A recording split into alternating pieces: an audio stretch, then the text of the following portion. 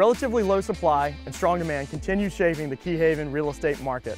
Hello everyone, I'm Will Langley, Principal Broker of Berkshire Hathaway Knight Gardner Realty, bringing you the facts and factors driving the Key Haven real estate market. Key Haven is a fantastic neighborhood, just up the road from the bridge on the Key West. Key Haven's average size home is 2,200 square feet.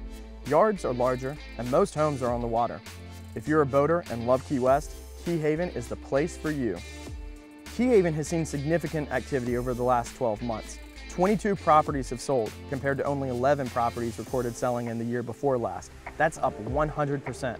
Inventory has been higher this year, with 44 properties on the market compared to only 29 last year. We're seeing the demand so strong that the sold volume is up 90%. $19,659,000 if you add up all of the properties that have sold in the last 12 months. Even though there have been more properties listed and sold, inventory remains tight.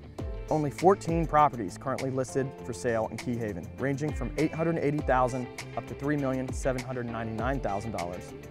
The average sale price is down slightly to $893,591, but the median sales price is up 12%, $852,500, meaning exactly half the properties sold for more and half sold for less. The average price per square foot of all homes to sell in the past 12 months was $428, and the average days on market was 69 days. The average size of a home to sell in the last 12 months was 2,201 square feet. With relatively low supply and solid demand, I see continued growth for the Key Haven real estate market, and that's good news for all of us.